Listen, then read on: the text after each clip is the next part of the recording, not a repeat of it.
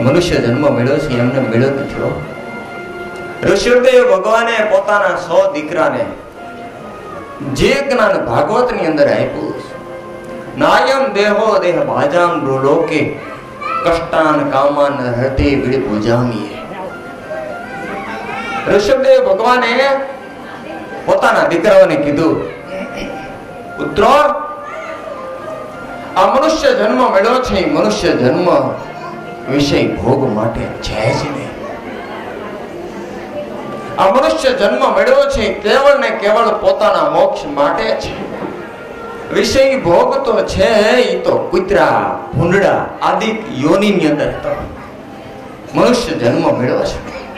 ભગવાને આપણને એવા અંગો આપ્યા છે. ભગવાને આપણને એવી એક બુદ્ધિ આપી છે કે જે બુદ્ધિ કરીને આપણે આપણો મોક્ષ સિદ્ધ કરી શકીએ.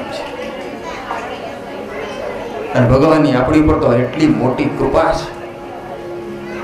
મનુષ્ય જન્મ આપ્યો કે જે મનુષ્ય જન્મ દેવતાને પણ દુર્લભ છે. વળી ઇન્ડિયાની અંદર આપ્યો ભારતમાં ઘણાના જન્મ થયા છે. અને મુંબઈમાં ઘણા પ્રગટ થયા છે. પણ આપણી મોટી, મોટા મોટી આપણી પર કૃપા તો એ છે ભગવાન સ્વામિનારાયણ આ સત્સંગની અંદર જન્મ આપ્યો છે, આ સત્સંગમાં જન્મ બહુ મોટી કૃપા છે, બહુ મોટી કૃપા છે. એ આપણે ગણી છીએ, એક પછી વાય મીંડું કરી એટલે દસ, પછી વળી એક મીંડું કરી એટલે સો, હજાર, દસ હજાર, લાખ, દસ લાખ, કરોડ, દસ કરોડ. એમ કરતા કરતા એકડાની પાછળ તમે બાવીસ મીંડા લગાવો એટલા વર્ષો જાય એટલા વર્ષો. એટલો ટાઈમ જાય, ત્યારે એક કલ્પ થાય, એક કલ્પ.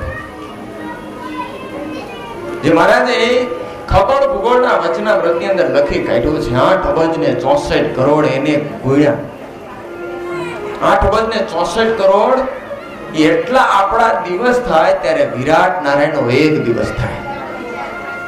એને ગુણ્યા ત્રીસ એટલે એક મહિનો થાય, એને ગુણ્યા બાર. એટલે એક વર્ષ થાય. અને એને ગુણ્યા સો એટલે વિરાટ નારાયણની આયુષ્ય થાય. અને વિરાટ નારાયણની આયુષ્ય એટલે એક કલ્પ કહેવાય અને એવા સાડા ત્રણ કરોડ. એક કલ્પ નહીં, સાડા ત્રણ કરોડ કલ્પ જાય. પછી મનુષ્ય જન્મ મળે છે. પછી મનુષ્ય જન્મ મળે છે. બહુ મોંઘો મનુષ્ય જન્મ હતો છે. અમેરિકા જવું હોય. અને અમેરિકાની અંદર વિઝા ઓફિસે કેટલી લાખોની લાઈન હોય અને લાખમાંથી એકને વિઝા મળે તો એમ કહેવાય કે અમેરિકાના વિઝા બહુ દુર્લભ છે. એમ મનુષ્ય જન્મ છે એ બધા કેટલાય જીવાત્મા લાઈનમાં લાઈનમાં છે પણ એમાંથી કોક કોકને મનુષ્ય જન્મ મળે છે, કોક કોકને. નહીં મળે ફરી રે તુને. રે નહીં મળે ફરી આમો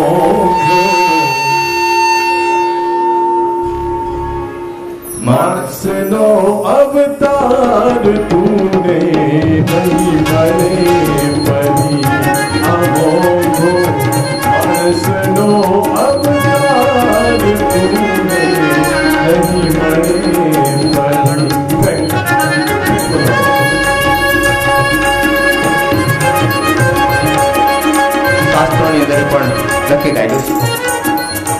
ભગવાન શ્રીને પણ વચનાવૃતમાં છેલ્લા અંત્યના અંતિમ વચનામાં, છેલ્લામાં છેલ્લું.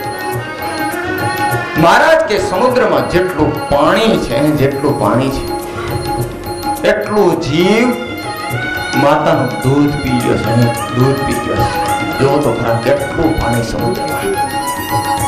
અને વળી દૂધ તો એક જળાયુધની અંદર છે. કેટલા જન્મો લીધા, કેટલા જન્મો લીધા. બસ આજ અવસર આવ્યો છે, અવસર આવ્યો છે. હે મન મલાઈ મોટ પુમેલી ભાઈ ભજી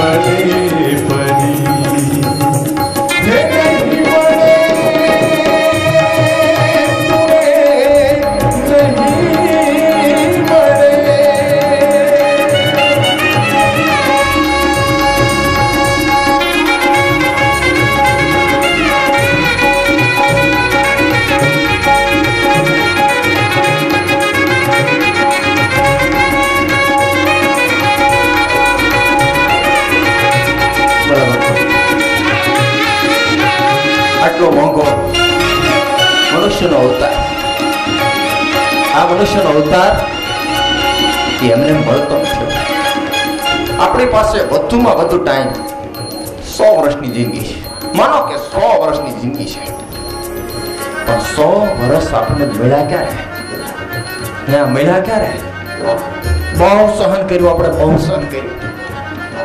લખ ચોરાસી ની અંદર ચોર્યાસી લાખ જે બોડી હતી, કુતરા ગધેડા, મૂક્યા કુટિયા કાઢડા પાડડા આદિ બધાય અને બધી યોની ની અંદર, બધી બોડી ની અંદર આપણે સહન કર્યું અને વેઇટ કરતા હતા, રાહ જોતા હતા. ક્યારે મનુષ્ય જન્મ મળે? ક્યારે મનુષ્ય જન્મ મળે? કારણ કે મનુષ્ય જન્મ એક જ એવો છે, એક જ એવો છે. આ એક જ બોડી એવી છે કે આ બોડીથી આપણે ભગવાનને પામી શકાય એવા સાધન કરી શકીએ. બીજી કોઈ બોડી છે જ નહીં. ગાયની અંદર ભલે ને તેત્રીસ કરોડ દેવતા રહ્યા, પણ સત્સંગમાં ન આવી શકાય. એ પોતાનો માન ભગવાનમાં એકાગ્ર કરી ન શકે એ જોઈન્ટ ન કરી શકે એક જ બોડી એક જ બોડી આ મનુષ્યની બોડી એવી છે. આજ આપણા હાથમાં બાજી જોવા આટલી વેટ કરી આપણે ચોર્યાસી લાખ જન્મની વેટ કરી અને બહુ સહન કર્યું. આપણે આ મનુષ્ય બોડી મેળવવા માટે અત્યારે આપણને ખબર નથી. પણ કેટલું સહન કર્યું આપણે, કેટલું સહન કર્યું. એ કુતરા થયા છું, ત્યારે આવા ઠંડીના વરસાદની અંદર ક્યાંય ક્યાંય ખોતરી અને ટૂંકી વાળીને પડ્યા રહેતા હશું એ ખાવા નહીં મળતું હોય, એ જાતિ કુંડળી પટપટાવીને કંઈક કંઈક ભેગું કરવું પડતું હોય છે. એ બળદ થયા છે. આપણે ત્યાં છું ત્યારે જૂથવું પડ્યું છે હળે. એ નહોતું હાલું તોય પરાણે પૂછડા મેળીને હલાવતા હતા. નહોતી ખેડ કરવી તોય પણ પરાણે. આર મારી મારી. એ ભૂખ લાગે, તરસ લાગે, તોય સહન કરવું પડતું. હતું એ ગમાઈની અંદર નીણ નાખે. અરે ભૂલી જાય તો આખા દિવસના, આખી રાતના ઉપવાસ એમને કર્યા છે કેટલી વખત. આવી તો કે બધી બોડીની અંદર. સુખ માત્ર તો ખાલી મનુષ્ય બોડી બસ કેટલી બોડી કેટલી બોડી અને કેટલું સહન કર્યું. પણ આ સહન કરવા પાછળનું કારણ મનુષ્ય જન્મ મળે એ જ હતો. એ મનુષ્ય જન્મ માટે જ આપણે સહન કર્યું. આપણે એટલું સહન કર્યું, એટલું સહન કર્યું કે આપણે જે આ સો વર્ષની જિંદગીની અંદર આપણે જે સહન કર્યું છે જેટલું ચોર્યાસી લાખનું દુઃખનો સરવાળો કરો. અને એની સામે સો વર્ષ મૂકો. અરે સો વર્ષ નહીં. આપણી એક ક્ષણ એક પળ મૂકો ને, તો એક પળની અંદર એમ ગણો કે જો સો વર્ષની જિંદગી માટે આપણે આટલું સહન કર્યું, તો એક ક્ષણ માટે, એક પળ માટે આપણે કેટલું સહન કર્યું? આપણી એક પળ એક પળ એટલી કિંમતી છે, એટલી કિંમતી છે, એટલી કિંમતી છે. કે આની માટે કદાચ આખું આ બ્રહ્માંડ હીરા માણેક મોતીથી ભરીને આપી દે ને તો એ ઓછું પડે. એટલી આ સમયની કિંમત છે. માટે આ પળે પળ. કોઈ કે લખી કાઢ્યું છો? તારી એક એક પળ જાય લાખની. તું તો મારા રે જપી લે ઘન શ્યામની તારી.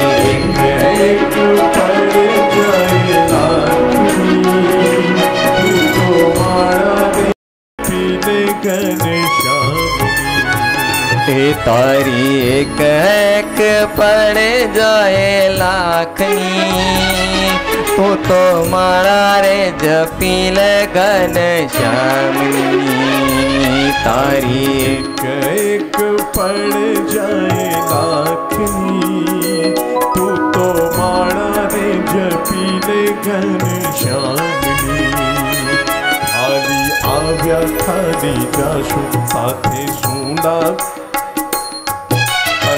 લાવ આવ્યા ખાલી જાશું સાથે શું લાવ્યા લઈ જાશું તું તો ભક્તિ રે જીવન ધન્ય રે બનાવો ભક્તિ ભાવથી તું તો માળા રે જપીને ઘન શ્યામની તારી એક એક પડ જાય લાખની તું તો માળા રે જપીને ઘન શ્યામની વાલા ભક્તો, એક એક પળ માટે આપણે બહુ સહન કર્યું છે, બહુ સહન કર્યું છે. અને એ વાત નક્કી છે. આપણી માટે જે ક્રીમ ટાઈમ છે, અત્યારે જ આપણી પાસે ક્રીમ ટાઈમ છે. એ ટાઈમનો જો સુધારી અને પછી કોઈ એમ કહે છે કે ગડપણમાં ગોવિંદ ગાચ્યું એ પછી ન થઈ શકે. અત્યારે ટેવ પાડી છે અત્યારે મનને કોન્સન્ટ્રેશન મહારાજમાં એકાગ્ર કર્યું છે. અને આ ટ્રીક આવડી ગઈ છે ને, તો એ ગડપણની અંદર બહુ ઉપયોગી થઈ છે. જુવાનીમાં જે ખોટો ટાઈમ બગાડે છે ને, એને પછી પસ્તાવું પડે છે. પછી એમ થશે કે અમે ખોટો ટાઈમ ન બગાડ્યો હોત ને, તો બહુ સારું હતું. હું આમ જિંદગી જુવાનીમાં જીવો હોત ને, તો બહુ સારું હતું. આ દુનિયાની અંદર ગયેલી જેટલી વસ્તુ છે ને એ કદાચ ફરી વખત મળી શકે. સમય ન મળે. ટાઈમ જે જતો રહ્યો એ પળ જતી રહી પછી નહીં મળે. બહુ કિંમતી છે, બહુ કિંમતી છે.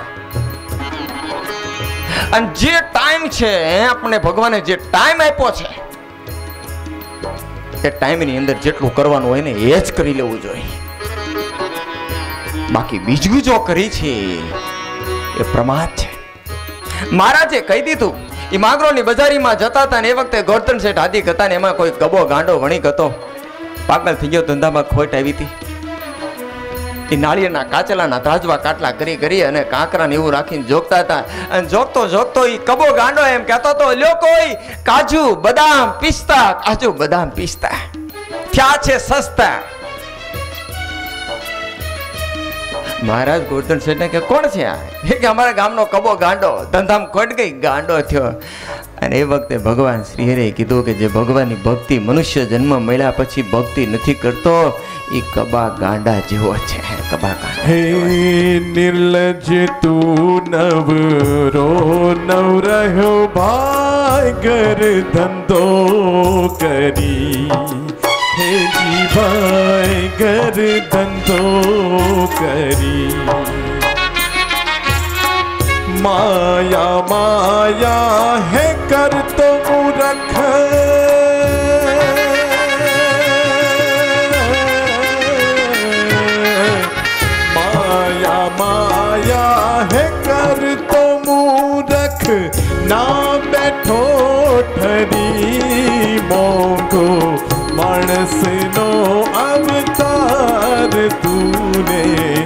નહીં મળે ફરી.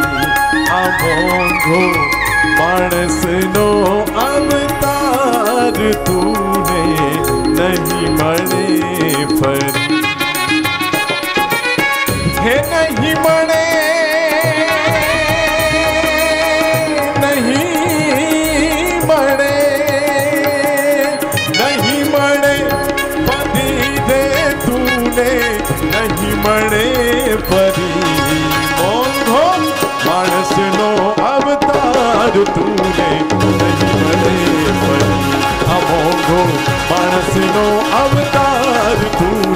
તુને નહીં મળે ફરી હે નહીં મળે તુને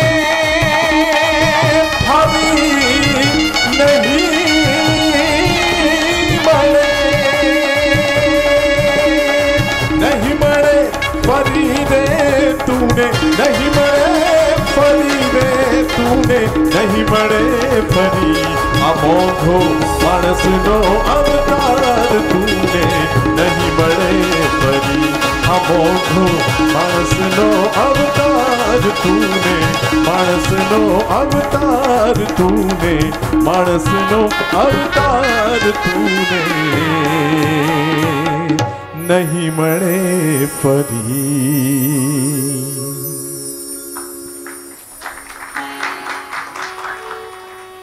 ભગવાન શ્રી હરિએ વધુમાં વધુ સો વર્ષની જિંદગીનો ટાઈમ આપ્યો છે આપણને.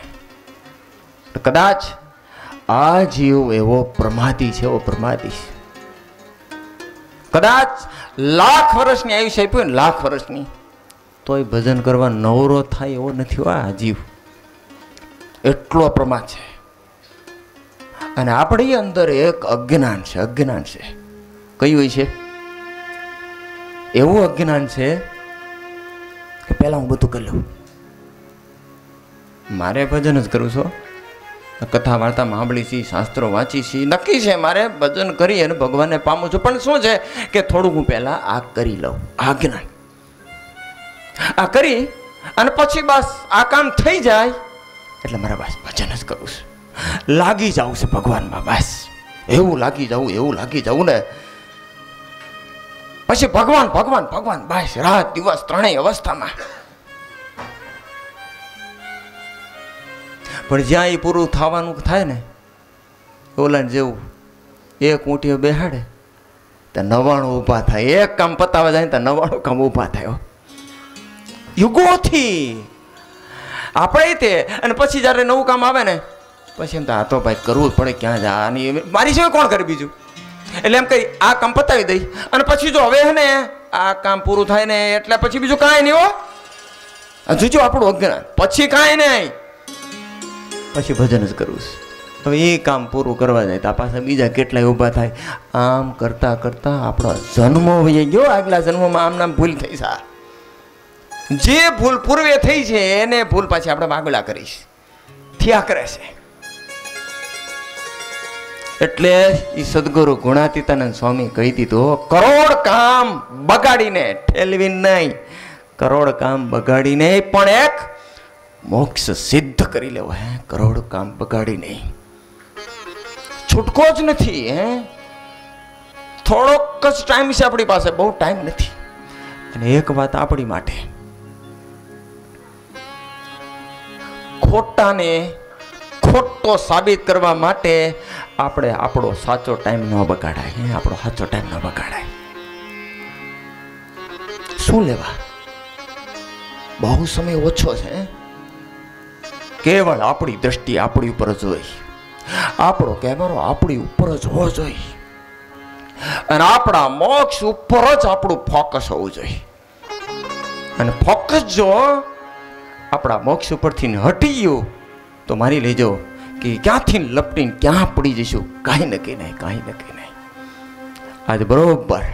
અને જે પળે પળને સુધારે છે ને, પળે પળને સુધારે, એ મોત સુધારી શકશે. એક એક પળ. આપણી પળ છે ને એ પળ જાય છે. એ જાય છે પરંતુ આપણા મોતને ખેંચી લાવે છે, ખેંચી લાવે છે. પળની કિંમત નથી, પણ ખબર નથી, આ પળ જ આપણું મોત ટુકડો લાવે છે. એટલે આપણી પળે પળ બહુ ઉપયોગી છે. સદગુરુ ગુણાતીતાનંદ સ્વામી કહેતા હતા, કામમાંથી પરવારીને કોઈ એમ કે હું ભગવાનનું ભજન કરું. ન થઈ શકે. હારવારે મનવું પડે બધું લાગવું તો પડે છે પૈસો હોય, ધન હોય એ તમે તિજોરીમાં મૂકી શકો. પણ સમય તિજોરીમાં નહીં સાચી શકો. અને ધન હોય તો એ તમે જ્યારે ખર્ચ જ કરશો ને, ત્યારે જ વપરાશે. પણ સમય તો તમે વાપરો કે ન વાપરો? સારા કામમાં વાપરો કે ખોટા કામમાં વાપરો. એ ચાલ્યો જ જવાનો છે, ચાલ્યો જ જવાનો છે ચાલ્યો જ જવાનો છે. ગયેલો સમય પાછો નહીં આવે પાછો નહીં આવે. માટે ધન કરતા વસ્તુ પદાર્થ કરતા મોટપ કરતા આપણા પળે પળની કિંમત બહુ મોટી છે બહુ મોટી છે. ગુણાતીતાને સ્વામી કે આ જીવ તો છે ને ખાડો ખાટલો અને ખાવું. આમાંથી નવરો જ નથી થતો નવરો જ નથી થતો એક ભૂદેવ હતા, શેઠ હતા. અને શેઠ આખો દી કાયમ માટે એ ધંધે જાય એ માઇન્ડ હાંજે પાછા આવે હુઈ જાય, પાછા. સામે બરોબર કોક ભૂદેવ. ભૂદેવના મનમાં એમથી આ શેઠ છે, આમનામ જિંદગી જાય છે નહીં. બચાકરો આ ક્યારે મોક્ષ થઈ છે આનો? નવરો જ નથી થતો, પૈસો પૈસો પૈસો. ભૂદેવને દયા આવી શેઠ ઉપર. પાડોશી સામે જ રહેતા હતા. શેઠની પાસે જઈને કે, શેઠ, આ તમે નવરા નથી થતા. મને દયા આવે છે, મને એમ થાય છે. કે એક વખત જો તમે મારી ભાગવતની કથા સાંભળી લો ને, તમારો મેળો પાર થઈ જાય. મારે કથા સંભળાવી છે. તમે કથા સાંભળો. સાંભળો. મારે કાંઈ જોતું નથી હો. મારી કોઈ આશા, ઈચ્છા નથી. એક જ ઈચ્છા છે કે બસ તમને જે ભગવાને જીવન આપ્યું છે ને, તમારો મોક્ષ થઈ જાય, તમારું કામ થઈ જાય. શેઠના મનમાં એમ થઈ કે ઓહો, આ તો અસાધારણ કૃપા. અને કાંઈ જોતું નથી, એકદમ નિષ્કામ ભાવથી. ભાવના થઈ ગઈ. ભૂદેવ મારા કથા સાંભળવી જ છે તારી પણ સાંભળ અત્યારે હું એટલો બીજી છું ને આપણે અઠવાડિયા પછી કથા સાંભળીશ. બસ આપણે અઠ- અઠવાડિયા પછી હું કથા સાંભળવા આવીશ. અઠવાડિયું જતું રહ્યું. જેટલું ઇમરજન્સી કામ હતું ને એની કરતાં ડબલ ઇમરજન્સી કામ આવી પડ્યું મહિનાનું. બુદેવ કે મામીના શેઠ? ચાલો કથા સંભળાવું. શેઠ "હા, સાચી વાત છે કથા સાંભળવી જોઈએ. પણ હવે અત્યારે એટલું બધું ઇમરજન્સી છે ને, મહિના સુધી તો હું નવરો નહીં થાઉં. અરે, પણ તો ક્યારે આમાં નવરાશ નહીં મળે. કાઢવી પડશે. પણ નથી અત્યારે એટલું બધું ઇમરજન્સી કામ છે ને, કથા સાંભળીશ મારે. હું સામે હાલીને આવીશ બસ. એમને એમ કરતા સમય ઘણો જતો રહ્યો. બુદેવ કોઈ બારગામાં કથા કરી અને પાછા એ ઘોડા ગાડીમાં અને યજમાન એના ગામ મૂકવા આવતા હશે અને ઘોડા ગાડીમાં એ પોતાના ગામમાં નીકળી રહે વખતે ગામમાંથી એક શમશાન યાત્રા નીકળતી હતી. ઠાઠડીમાં કોઈક નનામીમાં જતું છે. બુદેવે ઘોડામાંથી, ઘોડા ગાડીમાંથી જોયું કે ભાઈ, કોણ છે કોઈને પૂછ્યું? તો કે તમને ખબર નથી કે નહીં? કે તમારા ઘરની સામે ઓલા પેલા શેઠ હતા ને નગર શેઠ? હા એ જ. અને ભાઈ ભૂદેવ હતા. એમથી કહો આને જ મારે કથા સાંભળવાની હતી. ઘોડા ગાડીની અંદર પોથી હતી, પોથે માથે મૂકી અને શમશાન યાત્રામાં જોઈન્ટ થયા. ઓલાને અગ્નિ ચિતાદા ઉપર, અગ્નિદા દેવામાં આવ્યો. બળ ચિતા હળગે અને એ વખતે ભૂદેવ કહેવા છે, સાંભળો છો મારે કથા સંભળાવી છે. પણ કોને સંભળાવશો? ભાઈ તો ગયા. એ કે નહીં, કથા સંભળાવી છે. કે કેમ? તો કે હું એને કહેતું ન કહેતો તો એ કે નવરાશ નથી નવરાશ નથી. હવે નવરો થયો. હે, હવે હવે આ નવરો થયો સમજાય છે ને આ વાત? નવરાશ નહીં મળે, હો. કાઢવી પડશે. કરોડ કામ બગાડીને કામ કરવું પડશે. આપણા મોક્ષનું કરોડ કામ બગાડી મોક્ષ અને જે મોતને દેખતો થઈ જાય ને, મોતને દેખતો થઈ જાય, એ જ મોક્ષના માર્ગે કંઈક સાધન કરી શકે, મહેનત કરી શકે. મોત દેખાવું જોઈએ, મોત. પરીક્ષિત મહારાજને ખબર પડી ગઈ કે સાત દિવસમાં મારું મોત છે. તને દોઢ મૂકી બધું મૂકી દીધું. એના દીકરા જન્મે જને ગાદીએ બેહાડી નીકળી ગયા. નીકળી ગયા તો કામ થયું. એનું સાત દિવસમાં મૃત્યુ હતું ને આપણું સાત દિવસમાં છે. કાં તો સોમવાર, કાં તો મંગળવાર, કાં તો બુધવાર, કાં તો ગુરુવાર. આ સાત દિવસમાં એક સાત દિવસ જ રહ્યા ઉપડી જવાનો છો. એટલે લખી કાઢ્યું સંતોએ. આવો અવસર હવે ફરી નહીં આવે.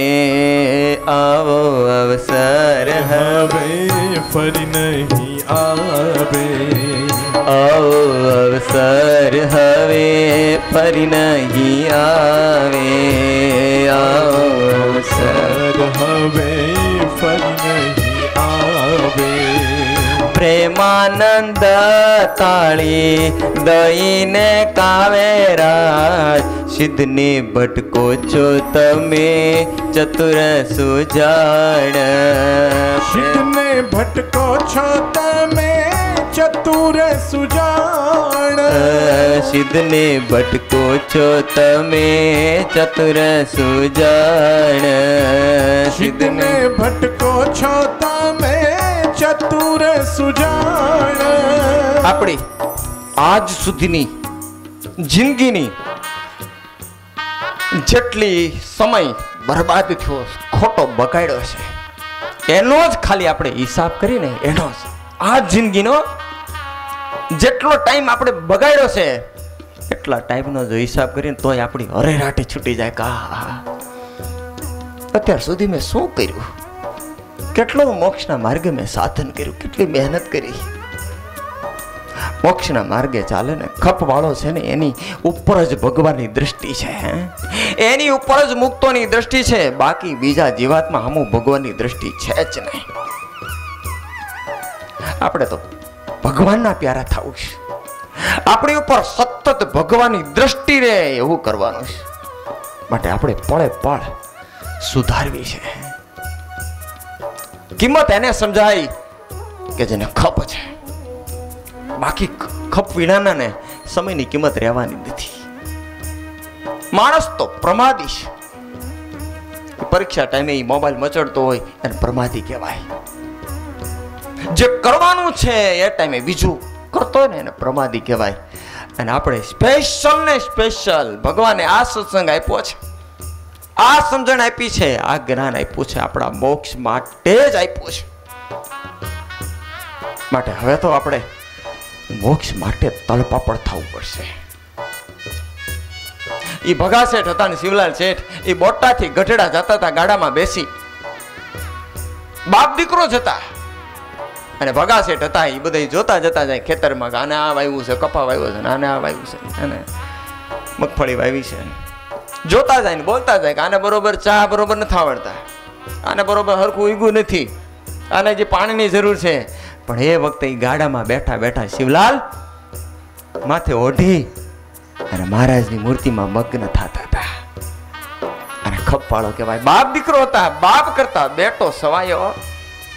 અને શિવલાલ શેઠ છેક સુધી ગઢડા આવે ને, ત્યાં સુધી માળા કરતા કરતા ભગવાનમાં અખંડ વૃત્તિ રાખતા હતા.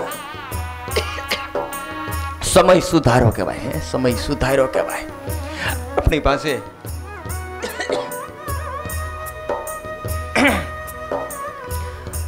કંઈક ભગા શેઠ જેમ, જો કે ભગા શેઠ તે, એની જિંદગી એવી જ હતી. પછી એ ભગવાનમય જિંદગી જીવા કંઈક આપણી જિંદગી ખોટી બગડી ન જાય. બીજા જેમ જીવે છે, દુનિયાના માણસો જીવે છે ને એ તો ઘેટાની ચાલશે કાંઈક આપણે ઘેટાની ચાલે ચલાઈ ન જાય હો. આ દુનિયામાં આવ્યા છીએ. કેવળ ને કેવળ કમાવા માટે, સંસાર કરવા માટે, બૈરા છોકરા માટે, ધન માટે, આ લોકની મિલકત માટે, આ લોકની મોટપ માટે, એની માટે નથી આપણી જિંદગી. આપણે ઘેટાની ચાલે જીવવાનું નથી. જેને મોક્ષ જોતો હોય, જેને ખરેખર ભગવાનનો ખપ હોય તો પેલા ભક્તો આપણી પળે પળ. એક એક પળે પળની આપણી જિંદગી બનેલી છે પળે પળની જિંદગી બનેલી છે. જે સમયને બરબાદ કરે છે સમય એને બરબાદ કરી નાખે છે. માટે સમય તો સુધારવો પડે. સજની ટાણું આવ્યું રે ભવજડ તરવા. રે સજની ટાણું આવ્યું રે ભવજળ रवानु सजनी ताणो आ्ये भवजड तरवानु। सजनी तारु आव रे भवज तरवानु रेष नो भारो भव आरो दिल दिलमा विचारो सत्सङ्गी सजनी કીજીએ આવ્યું રે ભવજળ તરવાનું રે. સજની તાણું આવ્યું રે ભવજળ તરવાનું. એ સજની તાણું આવ્યું રે ભવજળ તરવાનું રે. મહાપુરુષો એને પોતાના સમયની બહુ કરકસર કરેલી છે. ચાહે જનક રાજા હોય યોગેશ્વર નવ યોગેશ્વર આવતા હોય ને, દોટ મૂકી અને એક સાથે નવે નવને ભેટી લે. સમયની કિંમત જો, હે મહાપુરુષોને. અને પછી એક એક ને ભેટે. યોગેશ્વરે પૂછ્યું કે, જનક, આમ કેમ કર્યું? પેલા એક સાથે નવ ને ભેટે ને પછી એક એક ને જનક રાજા કે કે કદાચ એક એક ને ભેટવા જાતા જતા અને કોક બાકી રહી જાય. અને મોત આંબી જાય તો? હે મોત આંબી જાય તો? જો તો ખરા માથે કેટલું મોત દેખાય છે ને, એ માણસ પોતાનો મોક્ષ સિદ્ધ કરી શકે. જે પોતાના સમયને બરબાદ કરી નાખે છે ને, જિંદગીનો મળેલો સમય બરબાદ કરી નાખે છે, શાસ્ત્રમાં લખી કાઢ્યો એ પોતાના આત્માનો ખૂની છે આત્માનો ખૂની છે છરી મારે, તો આ દેહનું ખૂન થાય. પણ પોતાનું જીવન બગાડી નાખે. હે, કલ્યાણ ન કરી શકે, મોક્ષ સિદ્ધ ન કરી શકે એ પોતાના આત્માનો ખૂની છે ખૂની છે. એ મયરામ ભટ્ટ અને ગોવિંદરામ કે આપણે શું ધંધો કરશું? તો કે કરિયાણાનો કરી. તો કે એ નહીં, એમાં તકલીફ આ તકલીફ તો કે આવડવા? વણકરનો? તો કે એ નહીં. આવડવા? એમ કરતા કરતા કરતા આખી રાત જતી રહી. કુકડો બોલી ગયો. ગોવિંદરામ કે મયારામ ખાલી હજી આપણે ધંધાનું નક્કી કરી છીએ, તો આખો કુકડો બોલી ગયો, સવાર પડી ગઈ, આખી રાત પસાર થઈ ગઈ. તો તો ધંધો કરી, તો તો જિંદગી આમ નામ જતી રહ્યો. હવે ધંધા બંધા કાંઈ કરવા નથી. હું લાગી જાઉં, ભગવાનની મૂર્તિનું ધ્યાન કરવાનું. તું લાગી જા, ભગવાનની સેવામાં બે લાગી ગયા? અને સમય સમજાઈ ગયો કહેવાય. અને કિંમત સમજાઈ ગઈ કહેવાય.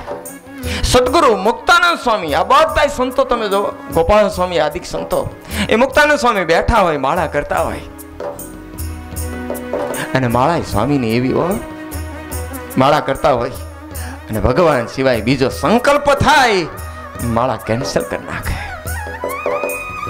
એવા સદગુરુ મુક્તાનંદ સ્વામી. મુક્તાનંદ સ્વામી ભજન કરતા હોય, કોઈ હરિભગત આવે, જોવે, પગે લાગે દંડવટ કરે. સ્વામી જોવે જોવે એટલે ખબર પડી જાય કે કેવો ખપ વાળો છે. સ્વામીને લાગે કે આ હરિભગત બરોબર ખપ વાળો ભગત છે. ભગવાનને પામવાની તાણ વાળો ભગત છે. તો એ સ્વામી માળા નીચે મૂકી અને સત્સંગ કરાવે. અને એમ લાગે કે આમાં કાંઈ છે નહીં. આ ટાઈમ પાસ છે. એટલે સ્વામી ઓઢી અને પછી આંખો બંધ કરીને પાછા માળા કરવા બેસી જાય.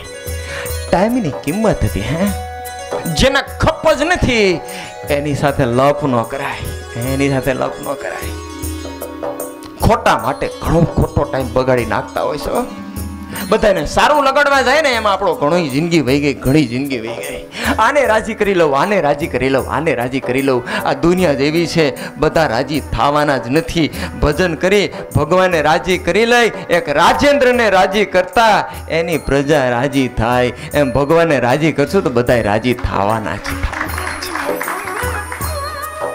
બસ એની માટે જ મહેનત કરાય અને એની માટે જ સમય બગાડાય. એક રાખો હતો. રાખો એટલે ભિખારી. અને કોઈ ગામની અંદર, એક ગામથી બીજા ગામ જતો છે ને, એ ગામની અંદર એક શેઠે બહુ મોટો નગર શેઠ. એનો કંઈક જન્મદિવસ કે એવું કંઈક છે અને એને એલાન કરી નાખ્યું આખા ગામની અંદર. કે આવતીકાલે મારો જન્મ દિવસે સવારથી સૂરજ ઉગે, ત્યાંથી સૂરજ હાથમે ત્યાં સુધી મારા ગોડાઉનની અંદર સદાવ્રત એનું હાલતું હતું. મારા સદાવ્રતની અંદર જેને જેટલી સંપત્તિ, જેટલી મિલકતી લઈ જઈ હોય, એ લઈ જઈ શકે. ગામના બધા માણસો આવી આવી સવારથી સૂરજ ઉગે, તા બધા લેવા માંડ્યા. સાંજ પડી ગઈ. કોઈ બહાર ગામથી રાંકો આવ્યો છે ને કોઈ દુકાનમાં કે ભાઈ મુજે કુછ દે દો, તો કે અહીંયા મારી આગળ માગે? એટલે આ શેઠે સદાવ્રત ખોલ્યું છે, જેટલું જોઈ એટલું મળે છે. જા જા, બહુ મોટા મોટા ભંડાર કોઠારો છે. બહુ મોટો સાવકાર શેઠ છે. માલામાલ થઈ જાય. આ જીવન પાર થઈ ગયો તું જો. રાખો દોડા દોડેના સદાવ્રતમાં આવ્યો અને સદાવ્રત આવ્યો તો સાંજ પડી ગઈ. સૂરજ આથમી ગયો, સંધ્યા ઢળી ગઈ. એના માણસો હતા, શેઠના માણસો લોક મારતા હતા રાખો પોઈગો રાખો કે ભાઈ ભાઈ, ઘડીક સદાવ્રત ખુલ્લું રાખો, મારે મારે બાકી છે લેવાનું. તો કે શેઠનો આદેશ છે. સાંજ પડી ગઈ. સૂરજ હાથમી ગયો. હવે લોક લાગી ગયો હવે ન મળે. અરે બાપા મેં કાંઈ નથી લીધું હું ગરીબ છું. દરિદ્ર છું. કૃપા કરો મારી ઉપર કૃપા કરો. હવે ભાઈ કાંઈ ન થાય. અમારા શેઠનો આદેશ છે. તમે કાંઈ ન કરી શકો. રક્ષક હાલતી હતી ને એ વખતે બરોબર એનું ઘર ઉપર સદાવ્રતની ઉપર અટારીમાંથી જોયું એ સદાવ્રતમાં શેઠ આ રાકા હારે અને એના માણસો સારે રક્ષક હાલતી શેઠે પૂછ્યું ભાઈ શું રક્ષક હાલે? કે રાખવા આવ્યો છે, માગવા આવ્યો છે, અત્યારે હું પૂરું કરવાના ટાઈમે, તાળું મારવાના ટાઈમે. તમારો નિયમ છે, કાયદો છે. સંધ્યા ઢળી જાય એટલે તાળું મારી દેવું. ટાઈમ પૂરો થઈ ગયો. પેલો ગરીબ હતો એ રાખો કહેવા મેળો શેઠજી કાંઈક કૃપા કરો, મારી પાસે કાંઈ નથી કાંઈ નથી. શેઠને દયા આવી. શેઠે એ રાકાને કહી દીધું, મારા નિયમ પ્રમાણે અત્યારે તો સદાવ્રત નહીં ખુલે, પણ તારા એકલા માટે કાલે આખો દિવસ સૂરજ ઉગે અને હાથમે ત્યાં સુધી તારે જેટલું જોતું હોય ને એટલું લઈ જજે, હે? કે જેટલું જોતું હોય એટલું. રાકાના મનમાં એમ થઈ ગયું બસ. આને તો અખૂટ ધન છે, ખૂટે એમ નથી. બસ મારી જિંદગી. હવે માગવાનું બધું ગયું. ઓલા તો તાળા મારી જતા રહ્યા પણ આના રાખો, હવે એને ક્યાં બીજે જવું? ત્યાં ત્યાં સદાવ્રતના ઓટલે જ ઉતો રહ્યો. હવે ક્યાંય જવું નથી ને કાં તો આ ભાઈ ખોલી લે ને કંઈક થઈ જાય એને કરતાં હવે અહીંયા નહીં રાત પાડી દઈ. પણ આખી રાત એ સપના જોતો થયો. કાલે આમ થઈ છે, કાલે આટલું લઈ લઈશ અને આટલું મળી જશે. પછી બંગલા, ગાડી, મોટર, દીકરાના દીકરાના દીકરાના દીકરા હવે કંઈ ખોટ નહીં હવે કંઈ માગવાનું નહીં આમ તેમ બધા શેક ચલી. આખી રાત ઊંઘ જ નું આવી. હવે ઊંઘ આવે? માણસને હામાં કંઈક આશા દેખાય ને, આશા ભલા. આશા નામની સાંકળ છે ને બધા પકડી રાખી છે પણ માણસ દોડા જ કરે છે. મળી જશે મળી જશે મળી જશે. આખી રાત જાગ્યો. સવારે સૂરજ ઉગ્યો તાળું ખોલ્યું. રાકાને કીધું રાકા જા. તારી માટે હવે સોનાનો સૂરજ ઉગ્યો છે, જા તું રાખો ગયો પેલું ગોડાઉન જોયું ભાઈ તો આખું ગોડાઉન જબરજસ્ત મોટો કોથળા તૈયાર કરીને લઈ ગયો છે. અને કોથળો તરા એને મનમાં એમ થઈ ગયો કે આખો કોથળો ભરીને લઈ જવું છે. અને રાણી સિકરનું આખું મોટું ગોડાઉન. ઓહો રાખો કે હવે માલા માલ થઈ ગયો. કોથળો ભરી લીધો આખો. એના મનમાં એમ થઈ ગયું કે હજી તો દિવસ હાથ મને વાર છે, લાઈને બીજું ગોડાઉન જોઈ લઉં. બાજુનું ગોડાઉન જોવાઈ ગયા. તો ભાઈ સોનાના સિક્કાનું ઓ બાપા તો ઓલું તો ચાંદીના સિક્કાનું હતું, આ તો સોનાના સિક્કાનો છે. કોથળો ચાંદીનો સિક્કાનો કોથળો ખાલી કર્યો અને આવ્યો સોનાના સિક્કાના ગોડાઉનમાં આખો કોથળો ભરી લીધો. હવે ટેન્શન ગયું, બસ. માળામાળ થઈ ગયો હતો લઈને જી ટાઈમ છે. બાજુ હું છે જોઈ તો લઉં. બાજુના ગોડાઉનમાં ગયા તો હીરા માણે કો. ઓ બાપા, આ તો સોનાનો કોથળો હતો ને એ ખાલી કર્યો. હીરા માણેક લઈ લેવો. હાલ માલામાલ કરી દે એમ છે. પણ પેલા નક્કી કે નાખું હવે ને કોથળો અત્યારે ભરવું નથી. આગળ આગળ પેલા જોઈ લો, આ તો એક પછી એક ઉત્તમ ઉત્તમ વસ્તુ આવતી જાય. પ્લેટિનમ ને સ્ફટિક મળી ના તે બધું. રાખો, જાતો જ ગયો, જાતો જ ગયો. ઊંડો ઊંડો ઊંડો ઊંડો. બાર ઉપર એક. હવે તને ભૂખ લાગે? એમ કરતા કરતા કરતા કરતા છેલ્લે એક મોટો જબરો, હોલ. અને સ્ફટિક મણીનો હિંડોળો હતો. અને ઓટોમેટિક રિમોટ કંટ્રોલ વગરનો પણ એ હાલે ઓટોમેટિક કોઈક માથે બેસે એટલે ઓટોમેટિક રિમોટ કંટ્રોલની જરૂર ન પડે. રાકાને એમ થયું કે આ જિંદગીમાં કોઈ દી હિંડોળે નથી બેઠો લાકડાને હિંડોળે નથી બેઠો. અને લાઈટને આજ સરસ મજાનો હિંડોળો છે ને સ્ફટિક મણીનો હિંડોળો. લાઈને થોડોક આરામ કરી લઉં. રાતનો ઉજાગરો જ હતો ને જાગરણ તો ન કહેવાય, ઉજાગરો જ હતો. રાખો હૂતો સૂતો? અને એવો તો ઓટોમેટિક હાલવા માંડ્યો હિંડોળો. અને હાલવા માંડ્યો ને એવી મીઠી ઊંઘ આવી. અને એમ કરતા કરતા ત્રણ, ચાર, પાંચ, સૂરજ આથમી ગયો. ઓલો કોથળો ખાલી. અને એના માણસો હતા, ક્યાં ગયો? રાકો ગયો ક્યાં? હાથમાં લાકડી. ગોતા ગોતા ગોતા ગોતા, ઠેક, છેલ્લે માળો. અને માળો ઈંડોળામાં ભૂતો તો નિકાલ ઝપકીને જાગી ગયો રાખો તો નિકાલ નિકાલ નિકાલ લઈ લીધું ને તે તને આખો દીનો ટાઈમ અરે પણ કાંઈ નથી લીધું તો હું કરતો હતો બસ હું જોતો હતો હું આમ ઊંઘ આવી ગઈ ટાઈમ પૂરો થઈ ગયો ને મારા ટાઈમ પ્રમાણે નિકાલ નિકાલ અરે બાપા કાંઈક તો લેવા દે નિકાલ તને ટાઈમે આપ્યો તો ને કાંઈ લીધું કાંઈ લેવાનું નથી નિકાલ ખાલી કોથળો લઈને બહાર કહે નો સમજાય ને? ભગવાને આપણે સો વર્ષની જિંદગી આપી છે, હો. સો વર્ષની જિંદગી આપી છે. તું ભજન ભક્તિના કોથળા ભરી લેજે. હું ઠેઠ તને ધામમાં પકડી દઈશ. પણ આપણે નાનપણની અંદર થોડોક ભજન ભક્તિનો એકાદ કોથળો ભર્યો હતો પણ એ તે પાછો જુવાનીમાં ઠલવી નાખ્યો. અને પછી એ હિંડોળામાં હૂતા સમજે ને? હિંચકવા મીંડા એ સંસારના હિંચકવામાં બૈરા છોકરા ધંધા ને તેને કેટલી ખટપટ. ઉતર્યા ભાઈ, ઉતર્યા.